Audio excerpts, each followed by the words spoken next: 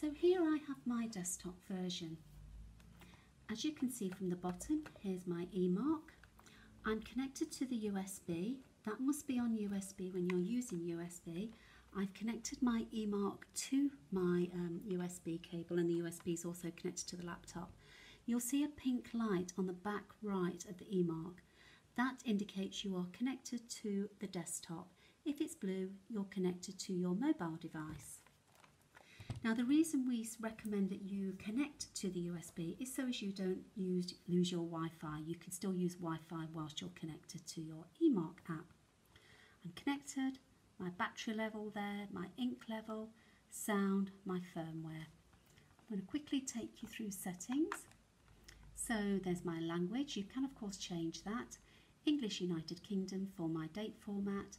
My measurement unit is millimetres, I can change that to inches my data. I can pop my data in here. Any changes you make, please remember to press save. Just going back there. So you can search for updates, you can do backups. Um, there's my eMarks. I can have more than one eMark connected. So um, just go down here and if you do have more than one, you'll see them in here. So just going back here, so the eMark sound is on, it's on channel 11 and there's my quick cleaning and my sleep mode.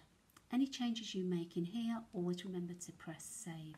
Just going back to the settings, start quick cleaning. You can of course do this on the mobile app as well.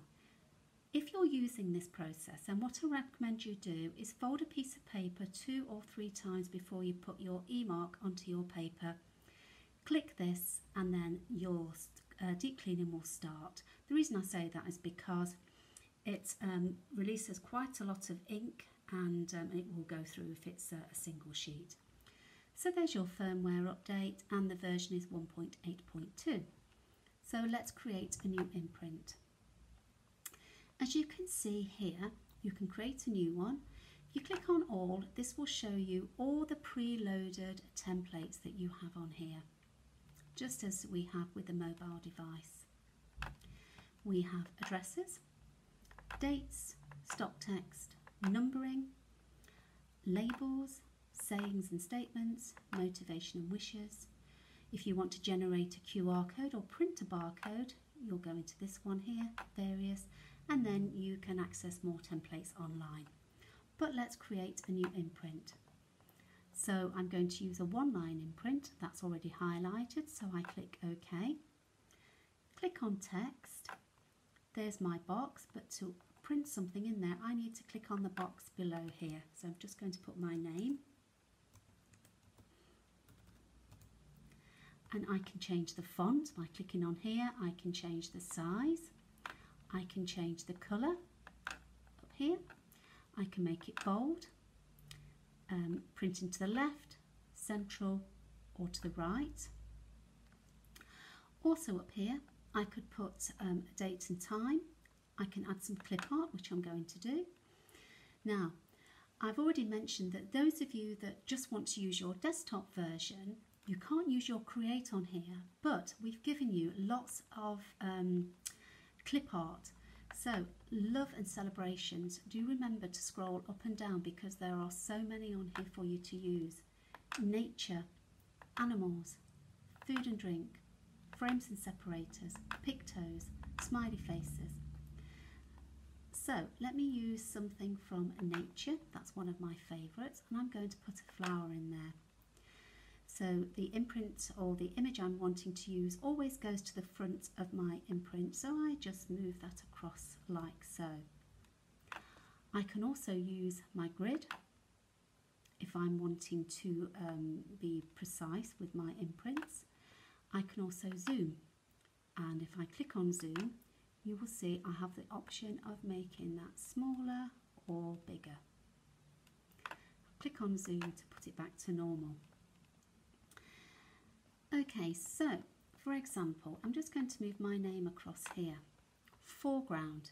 If I want my name to be in the foreground, then I click on foreground. If I want it to be in the background, I'll click on background.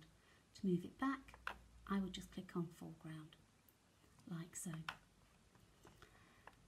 Okay, and then I can move my work up or down. I can also delete. Anything that's highlighted will be deleted. But if I want to undo that, I can click on undo and use the redo too. So I'll just move that back and um, I've just duplicated that. So let me just show you that duplication. If I want to duplicate that further, I will click on duplicate as many times as I want to duplicate it. So I've clicked on two times. There's my first one and there's my second one. And as before, if that is not in the um, imprint line, when I print this out, I'll only have half an imprint. So do make sure that your work is nicely in that position here. So I have now got the imprint that I want and in order to send that to the eMark I save and add my imprint to the queue. But I need to name it so just name it as anything you want. Click OK. And then it will move it to the eMark Connect box. As you can see I already have a few imprints in here. So this is the one I've just done and these are two that I did previously if I was to press send imprint eMark now, it would print this one first, then this one, and then this one. So if you only want the one to print, just delete the ones that you don't want to print. Here you can see my imprints, and over here you can see the imprints that are on the eMark. So I've already added one to the blue. If I want to add one to the pink, I can just add this one for example and do you want to replace the imprints already on there? So I'm going to click yes. And there I have it. So if I go into my imprints this just gives you a detailed um, list of those that are already in there.